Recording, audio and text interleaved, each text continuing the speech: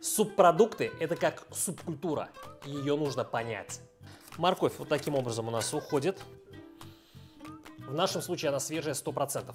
Цвет меня очень радует. Лаврушечку обязательно нужно притопить. Посмотрите, он стал более густой. Вот так вот, аккуратненько, но очень интенсивно перемешиваем. Наша задача не класть мимо. Друзья, это максимально вкусно. Здесь раскрывается сливочность от масла, сам, сам вкус печенки и вот такой еле-еле-еле догоняющий вкус черного перца. Ммм, насколько же это вкусно! Друзья, всем привет! Вы на канале Борисов ТВ и я, Алексей Борисов, снова с вами. Сегодня, перед тем, как э, подготовиться к съемкам, я понял, что тема завтраков в нашем э, пространстве, на нашем канале полностью не раскрыта. Нам еще, у, как до Китая. И сегодня, как вы поняли из превью, это будет паштет из куриной печени. Давайте оперативно поставим лайк, проверим подписочку и начинаем.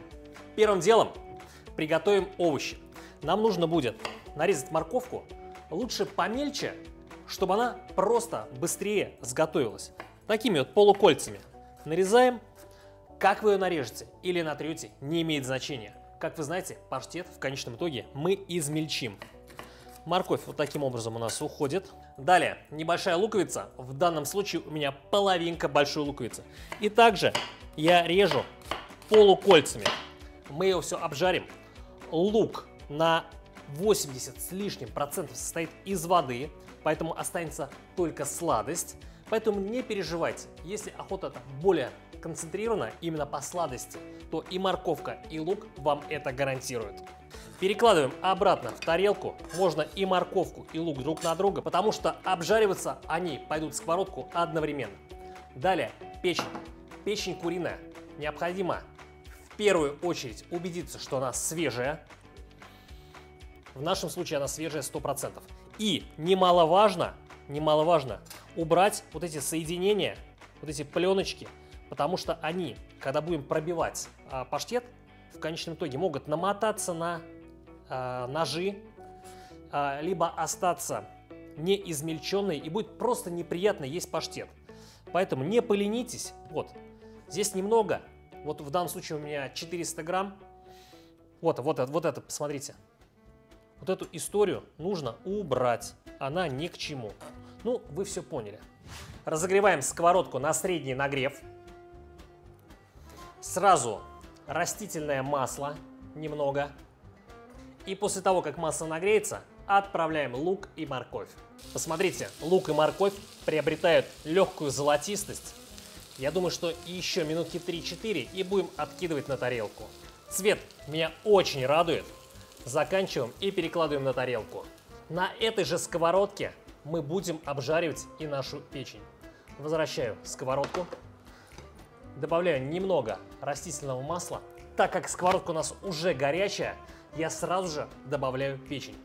Кстати говоря, при нарезке я вам не сказал, то, что нужно каждый кусочек печени, чтобы был одинаковый, чтобы она равномерно была готова и прожарилась, и протушилась.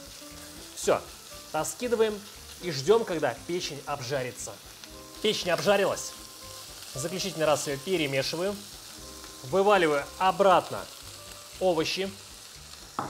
Добавляю 20 грамм сливочного масла, чтобы приобрести сливочность. Далее 3 зубчика чеснока я потом их заберу обратно, то есть выловлю. Они в конечном продукте нам не нужны. Далее две лаврушки. Далее перец и соль. Тем, дай соль, пожалуйста. А. Почему я люблю средний помол соли, что можно и посолить а, суп, кашу, можно засыпать в мельницу, в ступку, а также красиво посыпать стейк. Леша, а почему соль розовая? Так гималайская же. Солим. Хорошо перемешиваем, чтобы все обменялось вкусами, текстурами. Лаврушечку обязательно нужно притопить, чтобы все объединилось. И заключительный ингредиент на данную минуту это 100 мл воды. нам нужно оставить сейчас на минимальном огне, ну не минимальный, между средним и минимальным огнем, чтобы минут 20-25 протушилось, лишняя вода ушла и нам уже спокойно можно было перейти к измельчению.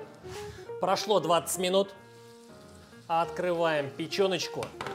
И первое дело, которое я сейчас сделаю, это уберу лаврушку, потому что, естественно, мы ее измельчить не можем себе позволить. И достану чеснок. Если вам чеснок в блюде нравится, оставляйте. Только перед этим его желательно помельче нарезать или выдавить через чеснокодавку. Все. Из того, что нам не потребуется, избавились. Теперь я достаю блендер и будем измельчать. Аккуратно перекладываем печенку в блендер. Кстати говоря, можно использовать и погружной спокойно. Можно такой типа стакана. Я делаю в своем стандартном. Аккуратно перекладываем и приступаем к измельчению нашего продукта.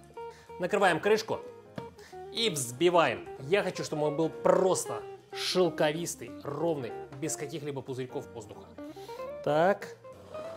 Сначала на маленьких оборотах, а потом будем потихоньку-потихоньку их увеличивать.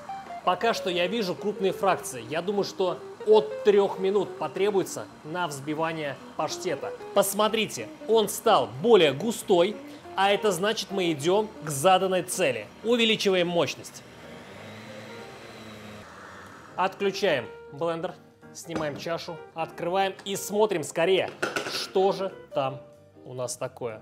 Посмотрите, посмотрите на что это похоже. Это просто стекло.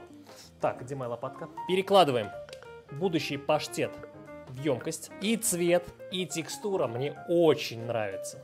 Все до последней капли. А пока я заканчиваю перегружать паштет, давайте перейдем и пообщаемся в комментариях, что едите на завтрак? Мне очень интересно. Может быть, мы раскроем какую-то тему для будущего нашего рецепта. Следующее, что мы берем, это сливочное масло. У меня здесь осталось грамм 70. Я его перекладываю к паштету и начинаю активно, активно замешивать до полного его растворения. Паштет должен растворить за счет своей температуры это сливочное масло. Вот так вот, аккуратненько, но очень интенсивно перемешиваем. Он становится еще более блестящий, более сливочный и от этого еще более вкусный. Обратите внимание, что за счет масла он становится не только более вкусным, но и тогда, когда вы будете его хранить в холодильнике, он стабилизируется, и его можно будет еще проще мазать. Вот не таким вот жидким, а таким прямо реально как сливочное масло, но только со вкусом вот эти вот печенки. Ну, я просто... Ах скорее жду попробовать. Теперь наша задача переложить его в ту емкость, где мы будем его хранить. Можно взять несколько вот таких вот небольших порционных, можно взять чуть побольше или другие какие-то банки. Ну, все на ваше усмотрение. Мне всего лишь нужно показать, как я это вижу. И перекладываем паштет. Наша задача не класть мимо, потому что это очень вкусно и потеря любой даже маленькой части может ударить по сердцу. Столько будет достаточно. И сейчас покажу один лайфхак. Сейчас нам нужно постучать. Вот так. Чтобы все пузырьки воздуха, обратите внимание, чтобы они поднялись наверх. И ни одного пузырька мы не смогли обнаружить внутри, потому что воздух, он будет способствовать, чтобы наш паштет испортился, а нам этого ни в коем случае допустить нельзя.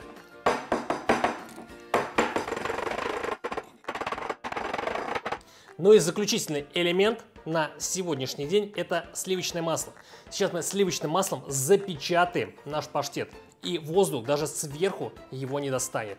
Делаем вот таким образом. Небольшой слой. Все.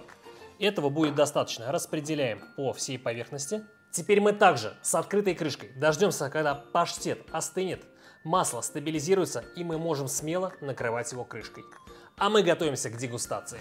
Я поджарил небольшие кусочки хлеба прямо в духовке в течение 10 минут.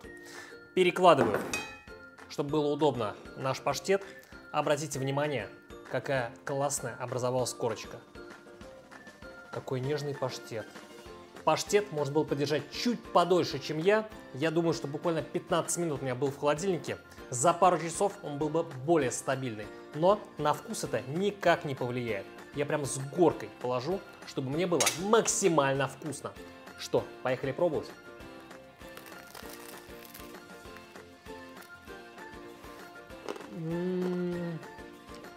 Друзья, это максимально вкусно. Здесь раскрывается сливочность от масла, сам, сам вкус печенки и вот такой еле-еле-еле догоняющий вкус черного перца. Ммм, насколько же это вкусно.